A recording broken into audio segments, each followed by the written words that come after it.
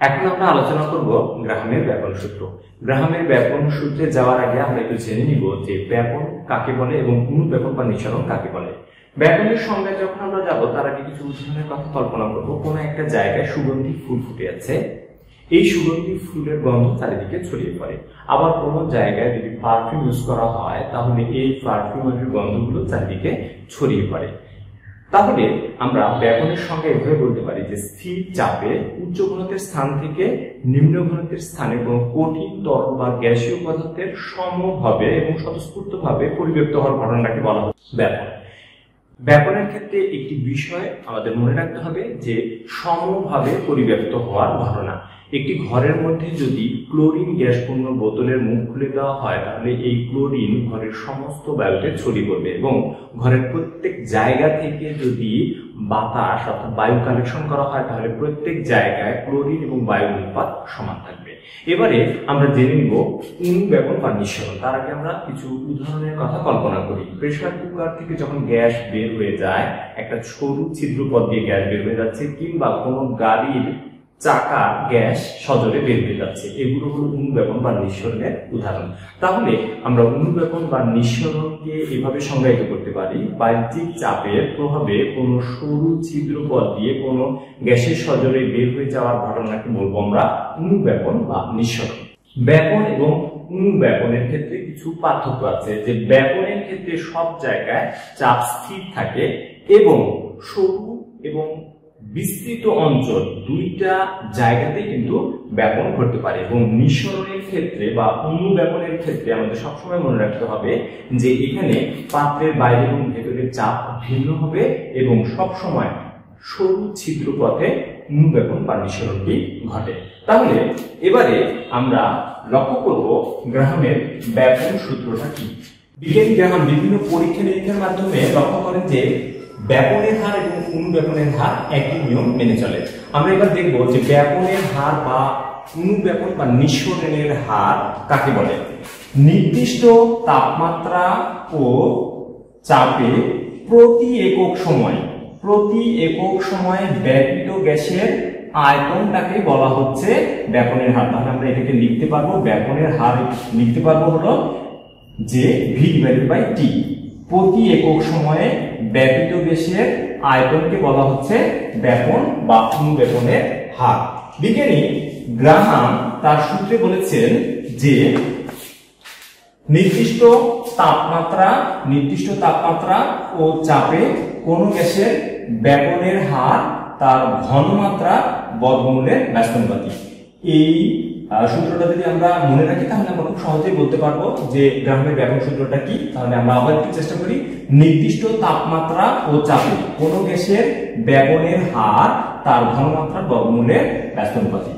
আমরা দুটি গ্যাস কল্পনা করলাম এ ও বি এ গ্যাসের ব্যাপন হার আর অফ এ এবং তার ঘনত্ব ডি অফ এ এবং বি গ্যাসের ব্যাপন হার আর অফ বি এবং তার ঘনত্ব ডি অফ বি তাহলে এই মানটা যদি আমরা এই সমীকরণে বসিয়ে দিই এ এবং বি এর ক্ষেত্রে সমীকরণটি দাঁড়ায় এরকম আর অফ এ এই গ্যাসের ক্ষেত্রে এই সমীকরণটি দাঁড়ায় এরকম এবং বি গ্যাসের ক্ষেত্রে এই সমীকরণটি দাঁড়াবে, তাহলে R of A equal to K সমানুপাতিক ধরলাম ডি এ এইটার ক্ষেত্রেও আমরা ধরলাম যে সমানুপাতিক ধ্রুবকটা কে তাহলে আমরা এভাবে লিখতে পারি ডি বি এটা এক নাম্বার সমীকরণ আর এটা দুই নাম্বার সমীকরণ।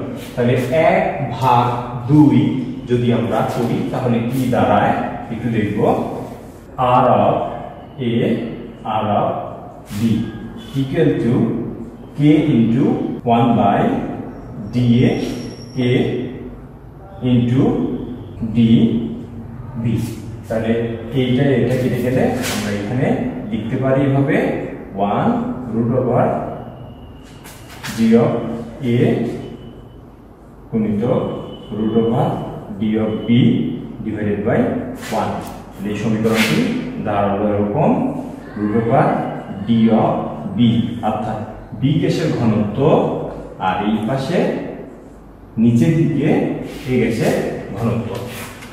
এখন আমরা একটা বিষয় জানি যে কোন গ্যাসের ঘনত্ব D equal to M divided by V যদি এ গ্যাসের ক্ষেত্রে হয়, তাহলে সেটা হবে M of A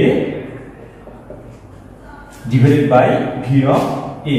এবং বি গ্যাসের ক্ষেত্রে যদি হয়, তাহলে আমরা লিখতে পারব M of B V of B এখন এই দুইটা মান, অর্থাৎ ডি অফ এ এর মান এবং ডি অফ বি অর্থাৎ এ গ্যাসের ঘনত্ব এবং বি গ্যাসের ঘনত্ব যদি আমরা এই মানটা এখানে বসিয়ে দিই, তাহলে সমীকরণটি দাঁড়াবে। বি গ্যাসের ঘনত্ব এবং এ গ্যাসের ঘনত্বের এই মানটা, অর্থাৎ এম বাই ভি এই মানগুলো যদি আমরা এখানে বসিয়ে দিই, তাহলে বি গ্যাসের জন্য আমরা পাবো আণবিক ভর ডিভাইডেড বাই তার আয়তন এবং এ গ্যাসের জন্য আমরা পাবো আণবিক ভর ডিভাইডেড বাই আয়তন।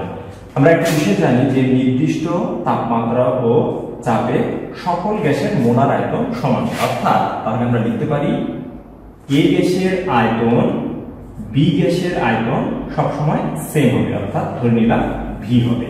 তাহলে এই জায়গাতে যদি আমরা এই মানটা বসিয়ে দিই এখানে যেহেতু ভি এর মানটা এবং এই ভি এর মানটা দুইটার ক্ষেত্রে ভি এর মান হয় ভি সুতরাং এই ভি এবং এই ভি কেটে গেলে আমাদের সমীকরণটা দাঁড়ায় রুট ওভার বি গ্যাসের আণবিক ভর আর এ গ্যাসের আণবিক ভর। আমাদের সূত্রটি তাহলে দাঁড়াল এরকম যে এটি। আমরা আরও একটি সম্পর্ক আলোচনা করব, সেটা হলো একটা বিষয় আমরা জানব, বা আমরা জানি যে টি সময়ে যদি একটা সরু চিত্রপথ দিয়ে ভি সেন্টিমিটার কিউব গ্যাস বের হয়ে যায় এবং একক সময়ে যে গ্যাসটা ব্যাপিত হবে সেটাকে বলব আমরা ব্যাপনের হার। এই গ্যাসের ব্যাপনের হারটা আমরা লিখতে পারি R of A equal to V A divided by T A এবং বি গ্যাসের ক্ষেত্রে আমরা লিখতে পারব V B divided by T B স্থির তাপমাত্রা ও চাপে সকল গ্যাসের মোলার আয়তন সমান, অর্থাৎ V A equal to V B equal to V এটা আমরা জানি। তাহলে R of A divided by R of B এই মানটা আমরা বসিয়ে দিই। আর এর মানটা হবে কি?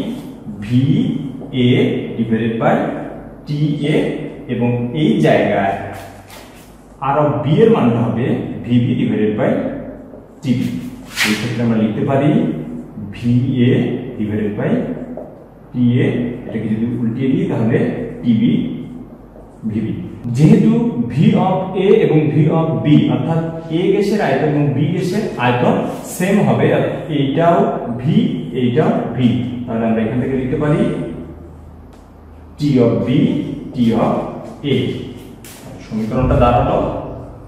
এটা। এখন আমাদের এই সমীকরণের সাথে যদি এটা তুলনা করি, তাহলে আমরা আরেকটি নতুন ইকুয়েশন পাই, সেটা T B divided by T A এটা আমাদের মূল সমীকরণ। এই সমীকরণের সাহায্যে আমরা গাণিতিক সমস্যা সলভ করব। কিছুক্ষণ আগে আমরা এই সমীকরণটি প্রতিষ্ঠা করেছি। এই সমীকরণটা বলে দিচ্ছে, এটা ব্যাপনের হারের সাথে এটা ঘনত্বের সম্পর্ক, এটা ব্যাপনের হারের সাথে আণবিক হারের সম্পর্ক, এটা ব্যাপনের হারের সাথে এখানে একটা সময়ের সম্পর্ক। তাহলে আমরা এইটা সমান সমান এটাও লিখতে পারি, আবার এটা সমান সমান এটা লিখতে পারি, এবং ব্যাপনের হারের সাথে সময়ের সম্পর্কটাও লিখতে পারি। গাণিতিক সমস্যাগুলোতে যে মানগুলো দেওয়া থাকবে সেটার উপর ভিত্তি করে আমরা ধরে নিব যে কোনটার সাথে কোনটা সম্পর্ক প্রকাশ করেছে। এখানে একটি গাণিতিক সমস্যা দেওয়া আছে। এখানে বলা হয়েছে, একটি অজানা গ্যাস অক্সিজেন অপেক্ষায় অর্ধেক গতিতে পরিব্যাপ্ত হয়। তবে অজানা গ্যাসের আণবিক ভর কত? প্রথমে দেখে নিতে হবে, এই গাণিতিক সমস্যায় কি কি মানগুলো দেওয়া আছে। এখানে বলা হয়েছে যে, অজানা গ্যাসের ব্যাপনের হারটা অক্সিজেনের ব্যাপনের হারের অর্ধেক। তো অজানা গ্যাসের ব্যাপনের হার আমরা ধরে নিলাম আর অফ এ এইটার ব্যাপনের হারটা অক্সিজেনের ব্যাপনের হারের, অর্ধেক অক্সিজেনের ব্যাপনের হার ধরেছি ওয়ান এবং অজানা গ্যাসের ব্যাপনের হার তাহলে হবে হাফ এরপরে অক্সিজেনের আণবিক ভর আমরা জানি এটা, এবং অজানা গ্যাসের আণবিক ভর বের করতে হবে। তাহলে আমরা দেখতে পাচ্ছি এখানে হলো ব্যাপনের হারের সাথে আণবিক ভরের একটি সম্পর্ক প্রকাশ করছে। তাহলে ব্যাপনের হারের সাথে আণবিক ভরের সম্পর্কটা আমরা জানি এরকম হবে। এখন অজানা গ্যাসের ব্যাপনের হার ধরেছি আমরা আর এ এবং অক্সিজেনের ব্যাপনের হার এইটা, অক্সিজেনের আণবিক ভর এইটা এবং অজানা গ্যাসের আণবিক ভর এম অফ এ এই মানটা আমাদের বের করতে হবে। তাহলে আর এর মান আর অফ এ অর্থাৎ অজানা গ্যাসের ব্যাপনের হার, অক্সিজেনের ব্যাপনের হার এবং অক্সিজেনের আণবিক ভরটা, অক্সিজেনের আণবিক ভরটা যদি আমরা এখানে বসে, তাহলে খুব সহজেই আমরা অজানা গ্যাসের আণবিক ভরটা পেয়ে যাব।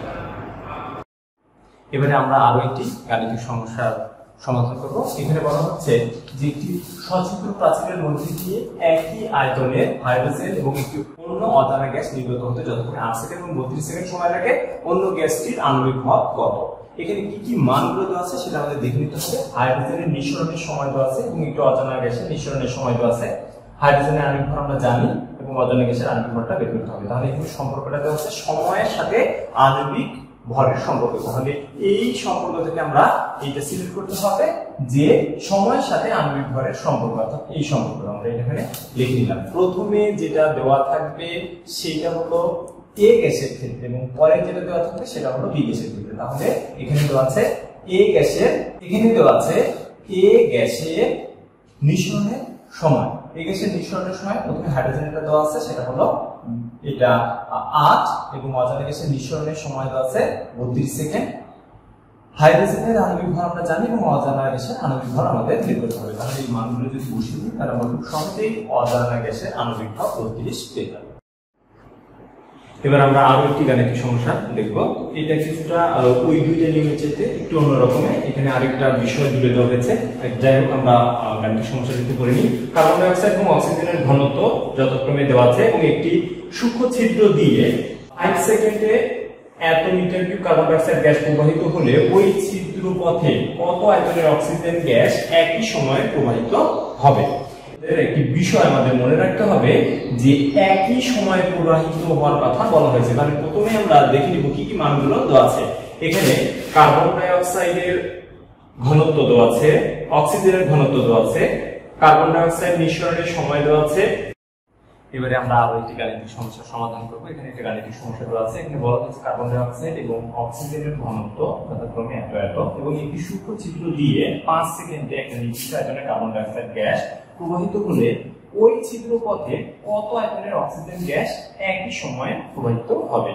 এখানে একই সময় বলা হয়েছে, অর্থাৎ কার্বন ডাই অক্সাইড এবং অক্সিজেনের নিঃসরণ হতে একই সময় লাগবে তাহলে আগে দেখি কি কি মানগুলো দেওয়া আছে। কার্বন ডাইঅক্সাইডের ঘনত্ব দেওয়া আছে, অক্সিজেনের ঘনত্ব দেওয়া আছে। কার্বন ডাইঅক্সাইড নিঃসরণের সময়টা দেওয়া আছে, তাহলে অক্সিজেন নিঃসরণ হতেও একই সময় লাগবে, সেটা হলো পাঁচ সেকেন্ড।